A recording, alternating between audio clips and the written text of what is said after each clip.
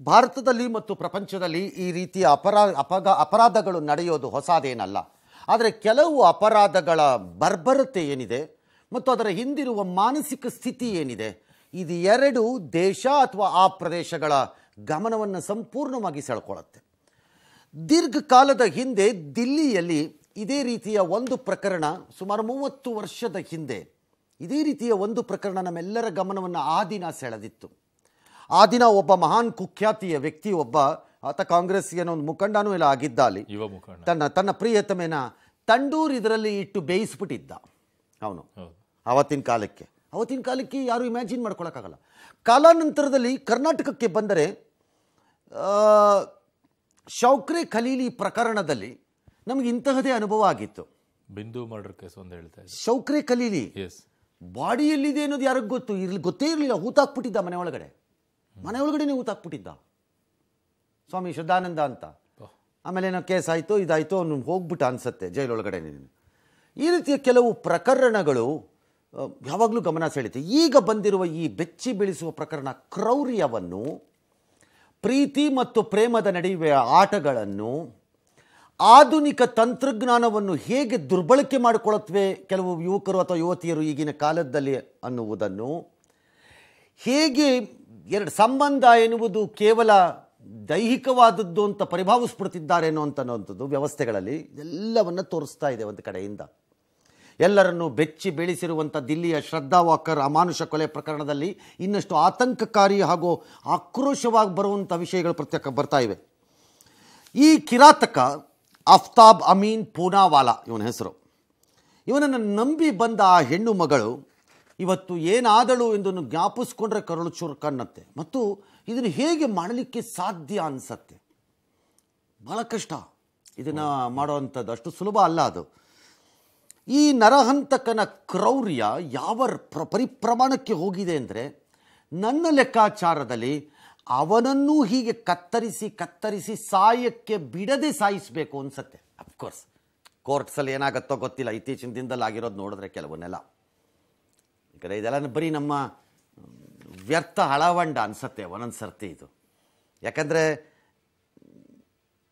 ಯಾವತ್ತು ವಿಕೃತ ಕಾಮಿಯಾಗಿದ್ದಂತಹ ಉಮೇಶ್ ರೆಡ್ಡಿಗೆ ಆ ಆ ಜೀವ, ದಾನ ಸಿಕ್ಕಿಬಿಡ್ತೋ ನ್ಯಾಯಾಲಯಗಳಲ್ಲಿ, ನನಗೆ ಅವತ್ತೇ ಅನ್ನಿಸ್ತು. There is no point in talking anything more ಅವನಿಗೆ ಕನ್ವಿಕ್ಷನ್ನೇ ಆಗದೆ ಇದ್ದಿದ್ದರೆ ನಾವು ಮಾತಾಡ್ತಿರ್ಲಿಲ್ಲ.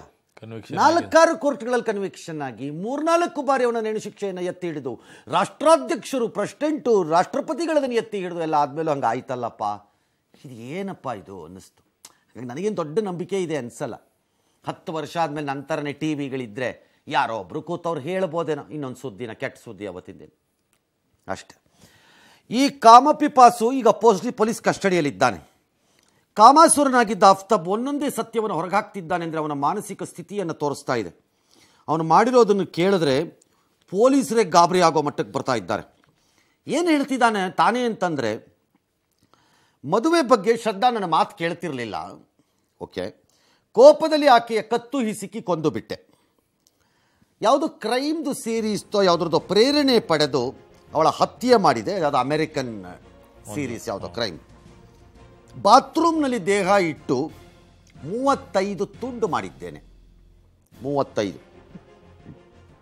ಎಂಥವನಿರಬೇಕು. ಹೇಗೆ ಸಾಧ್ಯ ನಾವೆಲ್ಲ ಕ್ರೈಮ್ ರಿಪೋರ್ಟಿಂಗಿಗೆ ಹೋಗುವಾಗ ಪೋಸ್ಟ್ ಮಾರ್ಟಮ್ ರೂಮ್ ಒಳಗೆ ಹೋದರೆ ಶವವಾಗಿರುವವರ ದೇಹವನ್ನು ಪೋಸ್ಟ್ ಮಾರ್ಟಮ್ ಮಾಡೋದನ್ನೇ ನೋಡೋದು ಕಷ್ಟ ಅನ್ಕೋತಿದ್ವಿ. ಕೆಲವು ಮೆಡಿಕಲ್ ಸ್ಟೂಡೆಂಟ್ಸ್ಗೆ ಅವರ ವೈದ್ಯಶಾಸ್ತ್ರದ ಭಾಗವಾಗಿ ಅದೆಲ್ಲ ಮಾಡಬೇಕಾದ್ರೂ ವಾಂತಿ ಮಾಡ್ಕೊಂಡು ಆಚೆ ಬರೋ ಕಥೆಗಳು ಕೇಳಿದ್ದೀನಿ ನಾನು. ಕೇಳಿದ್ದೀನಿ ನಾನೇ ಕೇಳಿದ್ದೀನಿ ಈ ಕತೆಗಳನ್ನು ಮೆಡಿಕಲ್ ಸ್ಟೂಡೆಂಟ್ಸು ಆರಂಭದಲ್ಲಿ ಅವ್ರ ಕೈಲಿ ಆಗದೇನೆ ಆ ಫಾರ್ಮಲಿನ್ ಇದ್ರದ್ದು ಸ್ಮೆಲ್ಲು ಎಲ್ಲ ಇದಾಗಿ ಅವ್ರಿಗೆ. ವಾ ವಾಕರಿಕೆ ಮಾಡ್ಕೊಂಡು ವಾಸನೆ ಮಾಡ್ಕೊಂಡು ಬಂದಿರೋದು ನಾವು ಯಾವ- ವಾಂತಿ ಮಾಡ್ಕೊಂಡು ಬಂದಿರೋದು ಕೇಳಿದ್ದೀವಿ ಪೋಸ್ಟ್ ಮಾರ್ಟಮ್ ಇದರಲ್ಲಿ ನಮ್ಗೆ ಅದು ನೋಡೋಕ್ಕಾಗಲ್ಲ ಅನ್ನೋ ಅನ್ನೋ ಸ್ಟೇಜಿಗಿತ್ತು ಇದು ಹೆಂಗಪ್ಪ ಸಾಧ್ಯ? ಕೆಮಿಕಲ್ ಬಳಸ್ತಾನಂತೆ ರಕ್ತದ ಕಲೆ ಸುಡುವ ಬಗ್ಗೆ ಗೂಗಲಲ್ಲಿ ಸರ್ಚ್ ಮಾಡಿ ಅದಕ್ಕೆ ಬೇಕಾಗಿದ್ದ ಆ್ಯಸಿಡ್ಡು ಮತ್ತೊಂದು ಮತ್ತು ಮಗದೊಂದನ್ನೆಲ್ಲ ತಗೋತಾನೆ. ಫ್ರಿಡ್ಜ್ನಲ್ಲಿ ಕತ್ತರಿಸಿದ್ದ ಭಾಗಗಳನ್ನೆಲ್ಲ ಫ್ರಿಡ್ಜಲ್ಲಿ ಇಡ್ತಾನೆ. ಅದಕ್ಕೆಂದು ಹೋಗಿ ಹೊಸ ಫ್ರಿಡ್ಜನ್ನ ಖರೀದಿ ಮಾಡ್ತರ್ತಾನೆ ಅದಕ್ಕಿಂತ ಅದ್ಭುತ ಅಂದರೆ ಈ ಕತ್ತರಿಸುವುದಕ್ಕೆ ಒಂದು ಗರಗಸವನ್ನು ಖರೀದಿ ಮಾಡಿಕೊಂಡು ಬರ್ತಾನೆ ಇವನು. ಒಂದು ಗರಗಸನೋ ಕತ್ತಿನೋ ಏನೋ ಒಂದನ್ನು. ಕಟ್ ಮಾಡಕ್ಕೋ ಕಟ್ ಮಾಡೋಕ್ಕೋ ಕುಯ್ಯಕ್ಕೋ ತೊಗೊಂಬಂದಿದ್ದಾನೆ. ನಂತರ ನಾನು ನೆನ್ನೆನೇ ಹೇಳ್ದಂಗೆ ಪ್ರತಿ ರಾತ್ರಿ ಮಧ್ಯರಾತ್ರಿ ಎರಡು ಗಂಟೆಗೆ ಹೇಳೋದಂತೆ ಎದ್ದುಬಿಟ್ಟು ಏನೋ ವ್ರತದ ಥರ ಒಂದೊಂದು ಭಾಗ ತೊಗೊಂಡೋಗಿ ಎಸ್ಬಿಟ್ಟು ಬರೋದು. ಎಲ್ಲೆಲ್ಲೋ ಜಾಗದಲ್ಲಿ. ಛತ್ತರ್ಪುರ ಕಾಡಿನಲ್ಲಿ ಪೊಲೀಸರ ಮಹಾಜರಾಗಿದೆ. ಮೂವತ್ತೈದು ತುಂಡುಗಳ ಪೈಕಿ ಒಂದು ಹತ್ತು ತುಂಡು ಭಾಗಗಳೇನೋ ಪತ್ತೆಯಾಗಿದೆ. ಡಿ ಎನ್ ಎ ಪರೀಕ್ಷೆ ಕಳಿಸಿದ್ದಾರೆ. ಪ್ಲಸ್ ಫ್ರಿಡ್ಜಲ್ಲಿ ಅದಕ್ಕಿಂತ ಊಹೆ ಮಾಡ್ಕೊಳ್ಳಿಕ್ಕೆ ಸಾಧ್ಯವಿಲ್ಲದಿರೋಂಥದ್ದು ಮುಂದಿನ ಸುದ್ದಿ ಅದು. ಮನೆಯ ಕಬ್ಬೋರ್ಡ್ಗಳಲ್ಲಿ ಕೆಲವು ಪೀಸ್ ಈಗಲೂ ಸಿಕ್ಕಿದೆ. ಈಗಲೂ ಇದೆ. ಸಿಕ್ಕಿದೆ. ಅದು ಮನುಷ್ಯತ್ವನ ಅವನು ಯಾವನ ಅಮೀನೋ ಗಿಮೀನೋ ಯಾವನ ಅವನು. ಅವನು ಅವನನ್ನು ಬದುಕಕ್ಕೆ ಬಿಡ್ತೀವಲ್ಲ ಅವನು ನೋಡ್ಬಿಟ್ಟು ಸಾಕಬೇಕಲ್ಲ ಇನ್ನು ಜೈಲಲ್ಲಿ. ನನ್ನ ಪ್ರಕಾರ ಟಿ ವಿಗಳ ಮುಂದೆ ಕೂರಿಸ್ಬಿಟ್ಟು ಒಂದೊಂದು ಹಲ್ಲ ಕಿತ್ಕೊಂಬರ್ಬೇಕು ಅವನಿಗೆ. ಅದು ಸಾಧ್ಯ ಆಗಲ್ಲ ಹ್ಞೂ ದಿನಾ ಒಂದೊಂದಲ್ಲಿ ಕೇಳಬೇಕು. ಲೈವ್. ಲೈವ್. ಒಂದೊಂದಲ್ಲೇ ಕೇಳಬೇಕು ಅವನಿಗೆ. ಅದ್ಯಾವುದೋ ಈ ಅಂಬರೀಷ್ದು ಹಳೇ ಫಿಲಮ್ ಬಂದಾಗ ಏ ಏನು ಕ್ರೌರ್ಯ ಇದು ಅನ್ನಿಸ್ತಿತ್ತು ನಮಗೆ. ಅಂಬರೀಷ್ದು. ಅದೇ ಸರಿ ಹಾಂ ಅಂತ ಅಂತೇನೋ ಒಂದು ಫಿಲಮ್ ಬಂತು ಆ ಕಾಲಕ್ಕೆ. ಅಂಬರೀಷ್ಗೆ. ಅಂಬರೀಷ್ಗೆ ಹಿಂಗೆ ಇಟ್ಬಿಟ್ಟು ಅದೇನೋ ಉಗುರು ಕೀಳೋ ದೃಶ್ಯ ಅದು. ಮಾಡ್ತಾರೆ ಆ ಚಿತ್ರದಲ್ಲಿ. ಏ ಏನು ಕ್ರೌರ್ಯಪ್ಪ ಇವನ್ಗೆ ಅದು ಮಾಡಬೇಕು. ಹೇಳ್ತೀನಿ.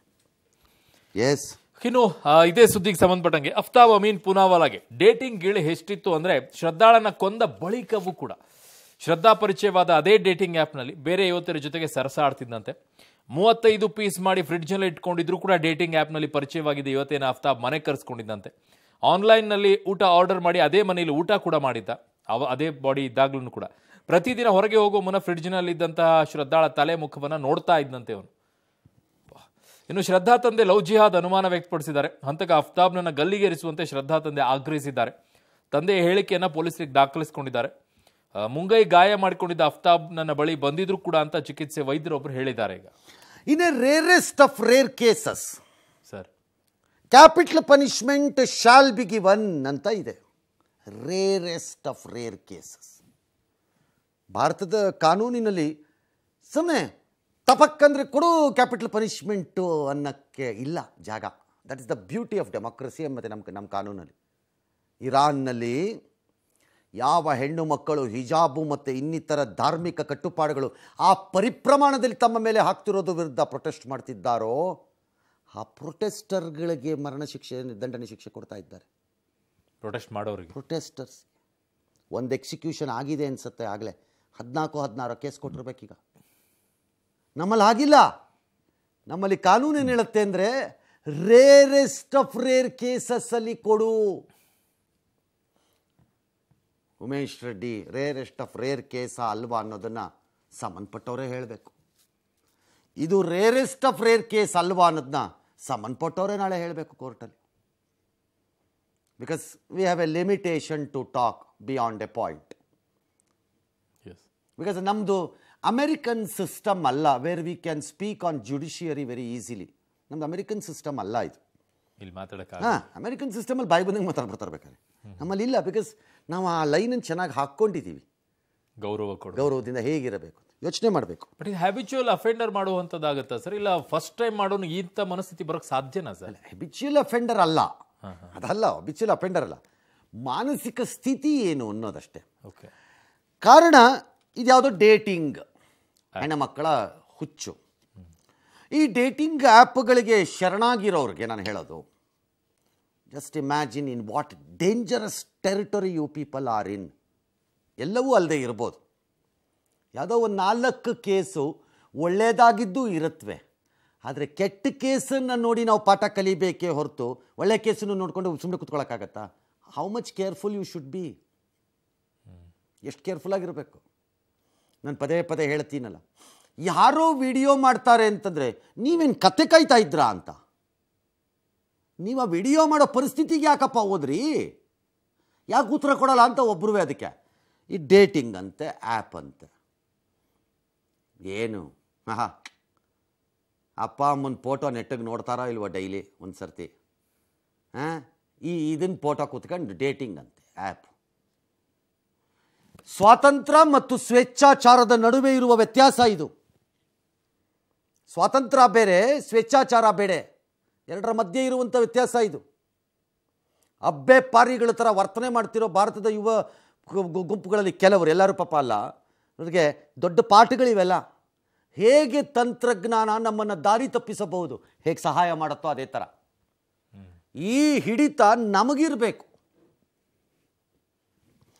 ಈ ಪ್ರಕರಣದಲ್ಲಿ ಅವನೆಂಥ ಹಲ್ಕಟ್ ಅಂತಂದರೆ ಅವನು ಈಕೆಯನ್ನು ಮರ್ಡರ್ ಮಾಡಿದ ಮೇಲೆ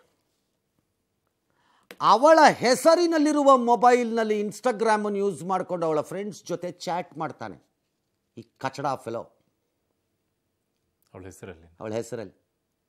To make believe others that she is alive ಆಕೆ ಬದುಕಿದ್ದಾಳೆ ಎಂಬುದನ್ನು ತೋರಿಸೋದು. ಅದಾದರೂ ಹಾಳಾಗಿ ಹೋಗಲಿ.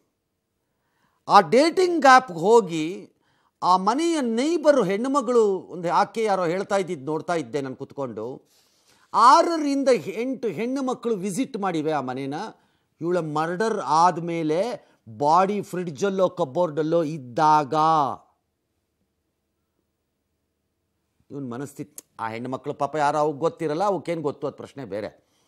ಬಟ್ ಲೆಕ್ಕ ಹಾಕೊಳ್ಳಿ ಇವನು ಇವನು ಲೆಕ್ಕಾಚಾರ ಆಗಿರಬೇಕು. ಮೆಂಟಾಲಿಟಿ ಮನಸ್ಥಿತಿ ಯಾವ ಮರ್ಡರ್ ಆಗಿದೆ. ಬಾಡಿಯಲ್ಲಿ ಬಾಡಿ ಕತ್ತರಿಸಿದಾನೆ. ಅಲ್ಲಿದೆ.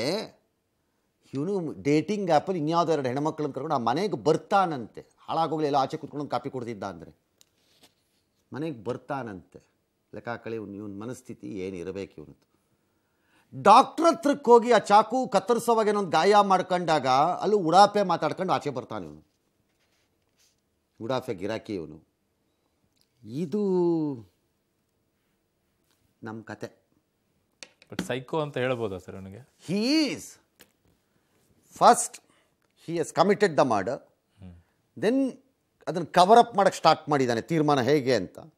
ಕವರ್ ಅಪ್ ಮಾಡೋಕ್ಕೆ ತೀರ್ಮಾನ ಮಾಡಿದಾಗ ಟ್ರೆಡಿಷನಲ್ ಮೆಥಡ್ಸ್ಗೆ ಹೋಗಿಲ್ಲ. ಎಲ್ಲೆಲ್ಲೋ ಹೋಗಿದ್ದಾರೆ ಅದು ಯಾವುದೋ ಸೀರೀಸ್ ಸೀರಿಯಲ್ ಹೋಗಿರಲಿಲ್ಲ ಯಾವುದೋ ಅಂತ ಹೇಳಿದ್ದಾನೆ ನೋಡಿದ್ದಾನೆ ಅದನ್ನು ಜಾರಿಗೆ ತರಕ್ಕೆ ಅವನಿಗೆ ಬೇರೆ ದಾರಿ ಇರಲಿಲ್ಲ. He had to dispose it off ಈಗ. ಎಸ್ ಇಡೀ ಬಾಡಿ ಡಿಸ್ಪೋಸ್ ಮಾಡೋದಷ್ಟು ಸುಲಭ ಅಲ್ಲ. ಈ ಸುಲಭ ಅಲ್ಲ ಆಗಲ್ಲ. ಒಬ್ಬನ ಕೈಲಿ ಆಗಲ್ಲ ಆ ಕೆಲಸ. ಅದು ಮೂರನೇ ಮಾಡಿಯಿಂದನೋ ಎರಡನೇ ಮಾಡಿಯಿಂದನೋ ಅದೆಲ್ಲ ಆಗದೆ ಇರೋ ಕೆಲಸ ಅದು. ಸೊ ಏನು ಮಾಡೋದು? ಹಿಂದೆ ಒಂದು ಪ್ರಕರಣದಲ್ಲಿ ಕೇಳಿದ್ದೆ. ಹೇಗೆ ಆ್ಯಸಿಡಲ್ಲಿ ಅವನು ಕರಗಿಸ್ತಾ ಹೋಗಿದ್ದ ಅಂತ ಒಂದು ಪ್ರಕರಣದಲ್ಲಿ ಕೇಳಿದ್ದೆ. ಒಂದು ಪ್ರಕರಣದಲ್ಲಿ ಕ್ರೈಮಲ್ಲಿ ಇದ್ದಾಗ ನಾವು ಆ್ಯಸಿಡಲ್ಲಿ ಕರಗಿಸ್ತಾ ಹೋಗ್ತಾನೆ ಬಾಡಿ ಪಾರ್ಟ್ಸ್ನ ಅವನು ಇಡೀ ಬಾಡಿ ಪಾರ್ಟ್ಸ್ಗಳನ್ನೆಲ್ಲ ಇಂಥದ್ದೆಲ್ಲ ಕೇಳಿದ್ದೀವಿ. ಹಾಗಾಗಿ ನನಗೆ ಅದ ಅದು ಅದಲ್ಲ. ಸೊ ಕವರ್ ಅಪ್ ಮಾಡೋಕ್ಕೆ ಹೋದಾಗ ಈ ಪೀಸ್ ಮಾಡ್ದ. ದೆನ್ ಬುದ್ಧಿವಂತಿಕೆ ಪ್ರಾರಂಭ ಆಯಿತು. ಈಗ ಎಸ್ಕೇಪ್ ಆಗೋಕ್ಕೆ ಹೇಗೆ? ಎವ್ರಿ ಥೀಫ್ ಪ್ರತಿಯೊಬ್ಬ ಕಳ್ಳನು ನಂಬುವುದು ನಾನು ಯಾವುದೇ ಸುಳಿವನ್ನು ಬಿಟ್ಟಿಲ್ಲ ಎಂದೆ. ಆದರೆ ಕ್ರಿಮಿನಾಲಜಿ ಹೇಳೋದು every thief leaves his visiting card at the scene of the crime ಅಪರಾಧ ಸ್ಥಳದಲ್ಲಿ ಒಂದಲ್ಲ ಒಂದು ಬಿಟ್ಟೆ ಬಿಟ್ಟಿರ್ತಾನೆ ತನ್ನ ಗುರುತಿನ ಚೀಟಿಯನ್ನು ಬಿಟ್ಟು ಹೋಗುತ್ತಾನೆ ಅಂತಲೇ ಕ್ರಿಮಿನಾಲಜಿ ಹೇಳೋದು. ಕೆಲವು ಪ್ರಕರಣದಲ್ಲಿ ಬಿಡದೇನೂ ಇಲ್ಲದೆ ಇರ್ಬೋದು. ಬಿಟ್ಟಿರ್ತಾನೆ ನಮಗೆ ಸಿಕ್ಕಿರಲ್ಲ ಆ ಚೀಟಿ. ಅಷ್ಟೇ ಕೆಲವು ಪ್ರಕರಣದಲ್ಲಿ. ಹಾಗಾಗಿ ಇವನು ಊಹೆ ಯೋಚನೆ ಮಾಡ್ಕೊಂಡ. ಹೀಗೆ ಇಂಟೆಲಿಜೆಂಟ್ಲಿ ಹೀಗೆ ಮಾಡ್ಬಿಡೋಣ ಒಂದೊಂದು ಕಡೆಗೆ ಒಂದು ಹಾಕ್ಕೊಂಡು ಬಂದ್ಬಿಟ್ರೆ ಯಾರಿಗೂ ಗೊತ್ತಾಗಲ್ಲ ಅಂತ ಲೆಕ್ಕ ದೆನ್ ಇಟ್ ಫಾಲೋಡ್ ಅಪ್ ಟ್ರ್ಯಾಕಲ್ಲಿ ಬಂತು ವಾಪಸ್. ತುಂಬ ಇತ್ತೀಚೆಗೆ ನಾನು ಫ್ರೀಡಮ್ ನಾನು ಒಬ್ಬ ಇರಬೇಕು ನಾನು ಆರಾಮಾಗಿ ಸ್ವತಂತ್ರವಾಗಿರಬೇಕು ಅನ್ನೋ ಮನಸ್ಥಿತಿಯಲ್ಲಿ ತುಂಬಾ ಜನ ಇದ್ದಾರೆ ಸರ್. ಅಂತ ಯುವಕ ಮತ್ತು ರಾಂಗ್ ಯುವತಿಯರು what is wrong what's wrong in it ಯಾಕೆ ಒಂದು ಹೆಣ್ಣುಮಗಳು ಒಂದು ಹೆಣ್ಣುಮಗಳು ಅಥವಾ ಒಂದು ಹುಡುಗನು ಇಂಡಿಪೆಂಡೆಂಟ್ ಆಗಿ ಇರಬಾರ್ದಾ? ಅಲ್ಲ ಇರಬಾರ್ದು ಅಂತ ಹೇಳ್ತಿಲ್ಲ ಸರ್. ಅದ್ರ ಪರಿಣಾಮ ಏನಾಗುತ್ತೆ ಅಂದ್ರೆ ಈಗ ಆರು ತಿಂಗಳು ಆದ್ಮೇಲೆ ಯಾವುದೋ ಒಂದು ಕೇಸ್ ಆದ ತಕ್ಷಣ ಆ ರೀತಿ ಇದ್ದವರೆಲ್ಲ ಹಾಗೆ ಅಂತ ಯಾಕೆ ಅನ್ಕೋತಾ ಇದ್ದೀರಿ? ಆದರೆ ನಿಮ್ಮ ಎಚ್ಚರಿಕೆ ಏನಿರಬೇಕು ಅನ್ನೋದನ್ನ ನೋಡ್ಕೋಬೇಕು ನೀವು ಅಷ್ಟೇ ಪಾಠಗಳಲ್ಲಿ. ಇರಬಾರ್ದು ಅಂತೇನಿಲ್ಲ. ದಟ್ ಇಸ್ ದಿ ನಾನು ಹೇಳಿದ್ದು ಸ್ವಾತಂತ್ರ್ಯ ಮತ್ತು ಸ್ವೇಚ್ಛಾಚಾರ ಈ ಎರಡರ ಮಧ್ಯೆ ಇರುವ ಕಂದಕವನ್ನು ನೀವೇ ಫಿಲಪ್ ಮಾಡ್ಕೋಬೇಕು ಕರೆಕ್ಟಾಗಿ ಗ್ಯಾಪ್ ಏನಿದೆ ಅದು ನೀವೇ ಫಿಲ್ ಮಾಡಬೇಕು ಸರಿಯಾಗಿ. ಪೇರೆಂಟ್ಸ್ ಹೇಳೋದನ್ನು ಕೇಳದೆ ಇರುವಂಥ ಪರಿಸ್ಥಿತಿ ನಾಟ್ ನೆಸೆಸರ್ಲಿ ಐಮ್ ಸೇಯಿಂಗ್ ನೀವು ಇಂಡಿಪೆಂಡೆಂಟ್ ಅನ್ನೋ ಜೀವನ ಮಾಡ್ತೀನಿ ಅನ್ನೋ ಆಲೋಚನೆಗೆ ಬಂದಿದ್ದೀರಿ ಅನ್ನೋದ್ರೆ ನೀವು ಪ್ರಬುದ್ಧರಿದ್ದೀರಿ ಅಂತಲೇ ಅರ್ಥ. ಅದಕ್ಕೆ ಪೇರೆಂಟ್ಸೇ ಬೇಕಾಗಿಲ್ಲ. ನಿಮ್ ನೀವೇ ಪ್ರಬುದ್ಧರಿದ್ದೀರಿ ಅಂತಲೇ ಅರ್ಥ ಹಂಗಾರೆ. ಅಲ್ಲ ಇಲ್ಲಿ ಇಲ್ಲಿ ಅವಳು ಪೇರೆಂಟ್ಸನ್ನು ಧಿಕ್ಕರಿಸ್ಕೊಂಬಿಟ್ಟು ಧಿಕ್ಕರಿಸ್ಕೊಂಡ್ಬಿಟ್ಟು ಅಲ್ಲಿ ಹೋಗಿ ಸುಖಿ this not the first case ನನ್ನ ವಾದ. ಇದು ಕ್ರೈಮಲ್ಲೂ ಫಸ್ಟ್ ಕೇಸ್ ಅಲ್ಲ ಈ ರೀತಿ ಹೀನಿಯಸ್ ಕ್ರೈಮ್ ಆಗಿರೋದು. ಅಥವಾ ಈ ರೀತಿ ಸಂಬಂಧದಲ್ಲಾಗಿರೋದು ಅಲ್ಲ. ಅಲ್ಲ ನಾನು ಹೇಳ್ತೀನಿ. ಒಂದು ಪ್ರಕರಣದಲ್ಲಿ ನಮ್ಮ ಪೊಲೀಸ್ನವರು ಹೇಗೆ ದಾರಿ ತಪ್ಪಿದ್ರು ಅನ್ನೋ ಕೇಳ್ತೀನಿ. ಬೆಂಗ್ ಕರ್ನಾಟಕದ ಕೇಸು ಚಿಕ್ಕಮಗಳೂರು ಕೇಸ್ ಅದು. ಚಿಕ್ಕಮಗಳೂರಿಂದ ಡಾಕ್ಟರ್ ಇದ್ರು ಅವರು. ಓಕೆ. ಕನ್ನಡದಲ್ಲಿ. ಆತನೇ ಹೆಂಡತಿನ ಕೊಲೆ ಮಾಡಿದ್ರು ತೀರ್ಮಾನಕ್ಕೆ ನಮ್ಮ ಆಫೀಸರ್ಸ್ ಬಂದು ಆಗೋಗಿತ್ತು. ಗಂಡನೇ finally was acquitted finally was acquitted ಎಷ್ಟು ಚೆನ್ನಾಗಿ ದಾ- ದಾಖಲೆ ಬಿಲ್ಟಪ್ ಆಗೋಗಿತ್ತು ಆ ಕೇಸಲ್ಲಿ ಅಂತಂದ್ರೆ when when police officers are in a hurry to prove things ಅನ್ನೋದಕ್ಕೆ ಹೋದಾಗ, ಬಹಳ ವರ್ಣರಂಜಿತವಾಗೇ ಇತ್ತದು. ಆ ಪ್ರಕರಣ ನನಗೆ ಇನ್ನೂ ಜ್ಞಾಪಕ ಇದೆ. ಆ ಪ್ರಕರಣ. ಹಾಗಾಗಿ ಕ್ರೈಮು ಹೊಸದಲ್ಲ ಮೆಥಡಾಲಜಿಗಳು ಅಲ್ಲ, ಅದೆಲ್ಲ ಅಲ್ಲ. ಎಚ್ಚರಿಕೆ ನಮ್ಮ ನಮಗೆ ಇರಬೇಕು. ಪರಿಚಯವೇ ವಿವಾಹವೆಂದು ಪರಿಗಣಿಸುವಂತಹ ಆ ಪಪ್ಪಿ ಲವ್ ಅಂತ ಕರೀತಾರೆ ಅದನ್ನು. ಪಪ್ಪಿ ಲವ್ ಅಂದರೆ ಏನು? ನಾಯಿ ಮರಿಗಳು ಮುದ್ದು ಮುದ್ದಾಗಿ ಪುಟು ಪುಟು ಪುಟು ಪುಟು ಅನ್ಸೋದು. ಅದು ಲವ್ ಅಲ್ಲ. ಅದ. ಹಾಗಾಗಿ ಆ ಎಚ್ಚರಿಕೆಗೆ ಅವರಿರಬೇಕು ಸಂಬಂಧಗಳನ್ನು ಯಾವ ಲೆವೆಲ್ಗೆ ನಾವು ತರ್ತಾ ಇದ್ದೀವಿ ಅನ್ನೋದಕ್ಕೆ ಅವ್ರಿಗಿರಬೇಕು ಅದು ಅದು ನಾವೆಂಗೆ ಹೇಳ್ಕೊಡಕ್ಕಾಗತ್ತೆ? ಎಸ್ ಇನ್ನು ಇನ್ನು ವಿವೇಕ ಯೋಜನೆಯಡಿ ಶಾಲಾ ಕೊಠಡಿಗಳಿಗೆ ಕೇಸರಿ ಬಣ್ಣ ಹೊಡೆಯುವ ಕಾಂಗ್ರೆಸ್ ಟೀಕೆಗೆ ಸರ್ಕಾರ ಡೋಂಟ್ ಕೇರ್ ಅಂದಿದೆ. ಹೇಗೆ? ಕಟ್ಟಡನ ಯಾರು ಹೇಳಿದ್ದ? ಕಟ್ಟಡದ ಒಳಗೂ ಉಡಿತೀವಿ ಅಂತ ಇವರು. ಸೇರಿಗೆ ಸವ್ವಾ ಸೇರಿ. ವಿವೇಕಾನಂದರ ಭಾವಚಿತ್ರವನ್ನು ಮುದ್ರಣ ಮಾಡುವ ಚಿಂತನೆ ಮಾಡಿದ್ದೀವಿ. ಪ್ರತಿ ಕೊಠಡಿ ಮುಂದೆ ಹಾಕ್ತೀವಿ ಅಂತ ಶಿಕ್ಷಣ ಮಂತ್ರಿಗಳು ಹೇಳ್ತಾ ಇದ್ದಾರೆ ಪಬ್ಲಿಕ್ ಟಿವಿಗೆ. ವಿವೇಕರ ಆದರ್ಶಗಳು, ವಿವೇಕಾನಂದರ ಆದರ್ಶಗಳು ತಿಳಿಯೋದು ಮುಖ್ಯ. ಮುಸ್ಲಿಂ ಓಟ್ ಪಡೆಯೋಕ್ಕೆ ಕಾಂಗ್ರೆಸ್ ಕೇಸರಿ ಬಣ್ಣ ವಿರೋಧ ಮಾಡ್ತಿದೆ ಅಂತ ಕಿಡಿಕಾರದರು ಚಿಕ್ಕಮಗಳೂರಿನ ತರೀಕೆರೆಯ ಜನಸಂಕಲ್ಪ ಯಾತ್ರೆಯಲ್ಲಿ ಮುಖ್ಯಮಂತ್ರಿಗಳು ಮಾತನಾಡಿ, ಮಕ್ಕಳ ಸ್ಫೂರ್ತಿಗಾಗಿ ವಿವೇಕಾನಂದ ಹೆಸರಿಟ್ಟಿದ್ದೀವಿ. ಇದನ್ನು ಅವಿವೇಕ ಅಂತ ಟೀಕಿಸುವಂಥ ಕಾಂಗ್ರೆಸ್ಗೆ ನಾಚಿಕೆ ಆಗಬೇಕು. ನಿಮ್ಮ ಕಾಲದಲ್ಲಿ ಶೌಚಾಲಯವನ್ನೂ ಕಟ್ಟಕ್ಕಾಗಲಿಲ್ಲ ಅಂತ ವಾಗ್ದಾಳ ವಾಗ್ದಾಳಿ ಮಾಡಿದ್ರು. ಕುಡಿಸಿ ಶಾಸಕರು ಡ್ಯಾಶ್ ಡ್ಯಾಶ್ ಫೋಬಿಯಾ ಇಂದ ಎಲ್ಲ ಬೈದರು. ಕಾಂಗ್ರೆಸ್ ಇದೀಗ ಸಿ ಎಂ ಅಂಕಲ್ ಅಭಿಯಾನ ಶುರು ಮಾಡಿದೆ. ಯಾವ ಬಣ್ಣನ ನೋಡಿದ್ರಿ? ನಮ್ಗೆ ಉಡುಪಿಯಲ್ಲಿ ಶಾಲೆಗೆ ಬರಲು ರಸ್ತೆಗೆ ಸರಿ ಇಲ್ಲ ಸರಿ ಮಾಡಿ that's okay that's a fair thing ಶಾಲೆಗಳು ಬಣ್ಣ ಅಥವಾ ಅಥವಾ ಒಂದು ಫೋಟೋಯಿಂದ ಚೇಂಜ್ ಆಗತ್ತೆ ಅಂತ ನಾನೇನು ಅಂದ್ಕೊಂಡಿಲ್ಲ ಕಲಿಕೆ ಟೀಚರ್ಸು ಟೀಚರ್ಗಳ ಗುಣಮಟ್ಟ. ಅದೇ ಇಂಪಾರ್ಟೆಂಟ್ ಹಾಂ ಈಗ ಅದೇ ಡೌಟ್ಫುಲ್ ಆಗಿದೆ ಭಾಳ ಕಡೆ. ಟೀಚರ್ಗಳು ಅವರಿಗೆ ಸರಿಯಾಗಿ ಗುಣಮಟ್ಟ. ಟ್ರೈನಿಂಗ್ ಇಲ್ಲ ಅವ್ರಿಗೆ ಯಾರೋ ಒಬ್ರು ಹೇಳ್ಕೊಡ್ಬೇಕಾ ಸ್ಟೇಜಿಗೆ ಬಂದ್ಬಿಟ್ಟಿದೆ ಹಲವು ಹಲವೇ ಹಲವೆಡೆಗಳಲ್ಲಿ. ಇಫ್ ನಾಟ್ ಆಲ್ ಪ್ಲೇಸಸ್ ಇದೆಲ್ಲ ಬೇಕು. ಬಟ್ ಬಣ್ಣ ಮತ್ತು ಒಂದು ಫೋಟೋನೇ ಮಕ್ಕಳನ್ನ ಏನೇನೋ ಮಾಡಿಬಿಡುತ್ತೆ ಅಂತೇನಲ್ಲ. ಹಾಗೆ ಆಗುವುದೇ ಆಗಿದ್ದರೆ ವಿವೇಕಾನಂದರ ಭಾವಚಿತ್ರಕ್ಕೂ ಏನಾದ್ರು ಕಾಂಗ್ರೆಸ್ ಆಕ್ಷೇಪ ಎತ್ತಿದ್ದಾರೆ then we will have to ask Shivakumar palace ಗ್ರೌಂಡಲ್ಲಿ ವಿವೇಕಾನಂದ ಜಯಂತಿನ ಭಾಳ ಅದ್ಭುತವಾಗಿ ಆಚರಿಸಿದವರು. ಹೌದು. ಏನಕ್ಕೆ ಆಚರಿಸಿದ್ರು? ಕಳ್ಳೆಕಾಯಿ ಬೀಜ ತಿನ್ನಕ್ಕೆ ಆಚರಿಸಿದ್ರಾ? ಒಬ್ರು ವಿರೋಧ ಮಾಡ್ತಾರೆ ಒಬ್ರು ಪರವಾಗಿ ನಿಂತ್ಕೊಳ್ತಾರೆ ಶಾಲೆಯ ಕೊಠಡಿಗಳ ಒಳಗಡೆ ನನಗೆ ನೆನಪಿರುವ ರೀತಿ ಖಾಸಗಿ ಶಾಲೆಗಳಲ್ಲಿ ಕಡಿಮೆ ಸರ್ಕಾರಿ ಶಾಲೆಗಳಲ್ಲಿ ಜಾಸ್ತಿ.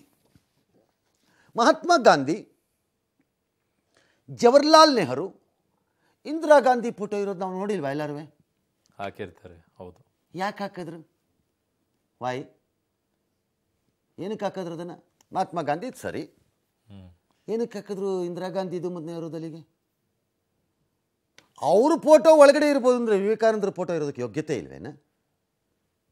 ಇರಬೇಕು ಆದರ್ಶಗಳೆಲ್ಲವೂ ಕೂಡ ಆಗಬೇಕು ಮಕ್ಕಳಿಗೆ. ನನ್ನ ನನ್ನ ಪಾಯಿಂಟ್ ಈಸ್ ವಿರೋಧಕ್ಕೆ ವಿರೋಧ ಮಾಡೋದಲ್ಲ ಇದು.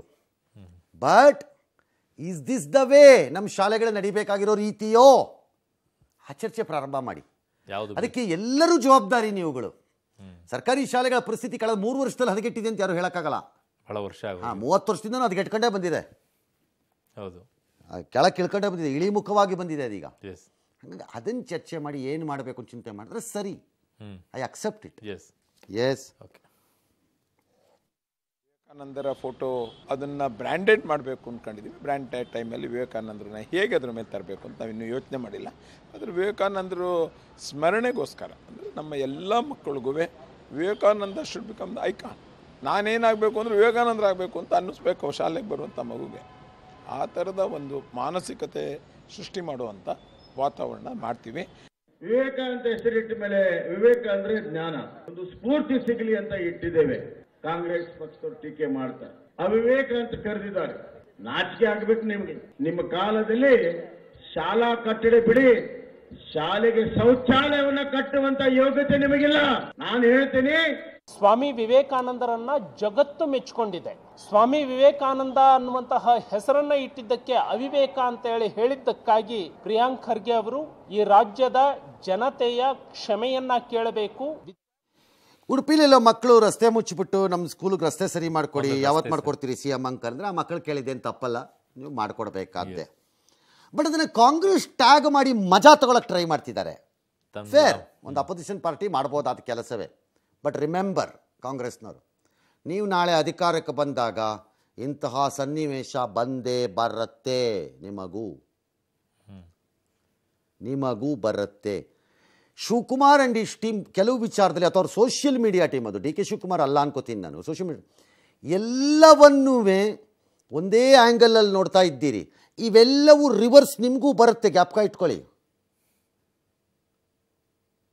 ಗ್ಯಾಪ್ಕ ಇಟ್ಕೊಳ್ಳಿ ಇದ್ ಬಂದೇ ಬರುತ್ತೆ. ಬಾರದಿದ್ದಂಗೆನಾರು ಆಗೋದ್ರೆ ಮಾತ್ರ that's the eighth wonder of this world ಅವಾಗ. ಹಾಗಾಗಿ ಪೊಲಿಟಿಸೈಸ್ ಮಾಡೋದನ್ನು ಪೊಲಿಟಿಸೈಸ್ ಮಾಡಿ. ಬಡದಾಡಿ ದಟ್ಸ್ ಓಕೆ ಆಕ್ಚುಲಿ ಚರ್ಚೆ ಆಗಬೇಕಾಗಿದ್ದು ಚುನಾವಣೆ ಹತ್ರ ಬಂದಾಗ ಯಾಕಿದು? ಇದಕ್ಕಿಂತ ಮುಂಚೆ ಅದು ಒಂದದು. ಎರಡನೇದು ಶಾಲಾ ಕೊಠಡಿಗಳ ಸಮ್- ಸಮಗ್ರವಾದದ್ದೇನು? ಹೌದು. ಶಾಲಾ ಹಾಜರಾತಿ ಮಕ್ಕಳದನ್ನ ಇಂಪ್ರೂವ್ ಮಾಡೋಕ್ಕೆ ಏನು ಮಾಡ್ತಾ ಇದ್ದೀರಿ? ಟೀಚರ್ಸ್ ಕ್ವಾಲಿಟಿ ಎಜುಕೇಷನ್ಗೆ ಏನಾಗ್ತಾ ಇದೆ?